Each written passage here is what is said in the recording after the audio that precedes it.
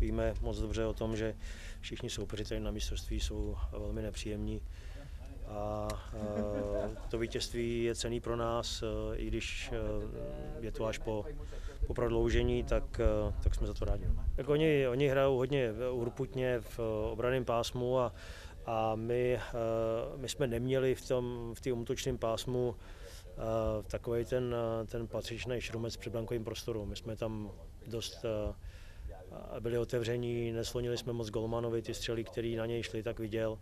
Byť jsme zase výrazně přestříleli soupeře, tak ty střely, když ten Golman vidí, tak, tak, tak mu to ujednodušujeme. Pro něj to byl hrozně zase těžký zápas, tak jako s tím Běloruskem a, a teď tím spíš, že, že to směřovalo ten zápas k tomu, že kdo gol, tak vyhraje. A on tam měl pár těžkých momentů a, a perfektní zákrok, eh, když jsme tam udělali chybu, jak, jsme tam, jak tam měli dva do jednoho, tak to, to, to nás podrželo. No tak uvidíme, my zase nechceme až tolik kroutit, spíš reagujeme na ten vývoj v tom zápase, jako třeba s těma Finama.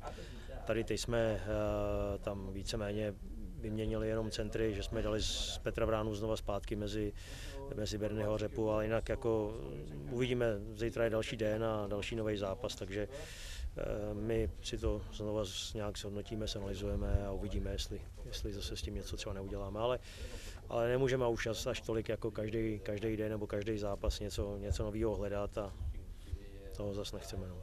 No, tam oni měli taky šanci, tam my jsme udělali chybu, tam oni to rychle otočili tu hru a, a tam Šíma to rychle zachránil a, a potom eh, ten gol padnul poměrně rychle, ale, ale to těžko hodnotit, tam to 3 na 3, to už je trošku takový, takový harakiri někdy.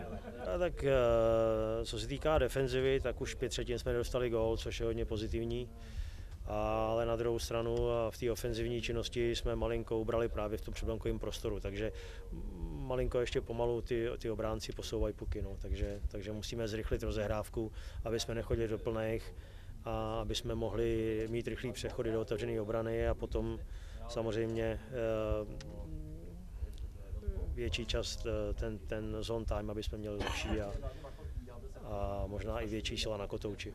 Jsou důležitý body stejně tak, jako byly důležitý body proti Finům, stejně tak jako proti Bělorusům. To je, eh, každý ten bod, nebo všechny ty body jsou důležitý. Za prvý odebereme body soupeři, za druhý máme lepší vzájemné utkání a, a eh, čekají nás ještě tři zápasy a ta tabulka, tak jak se vyvíjí, tak prostě mm, bude to, bude to boj do konce. No.